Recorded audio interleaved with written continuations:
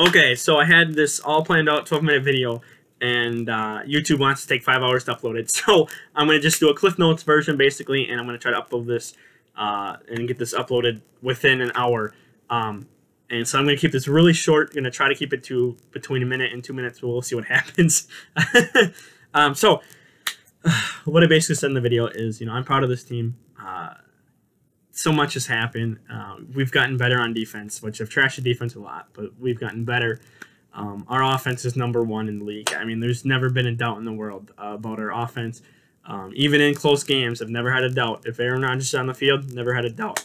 Um, and our, our, special teams take a hit, took a hit, and uh, you know, it is what it is with them. But hopefully, we don't have a lot of uh, punts tomorrow, um, and hopefully, we can just you know win. I would love to be able to go to a Super Bowl, uh, first time in ten years. So uh, that's what's writing on it. I think we actually have a really good chance this year to do it.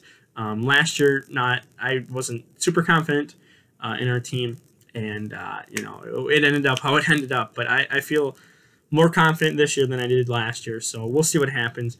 Um, I'm just ready. I'm ready to see this game tomorrow. I'm hoping it's a good game. So for now, I'm going to go ahead and get out of here. Like the video, share the video around. Don't forget to subscribe. We're out here. Peace.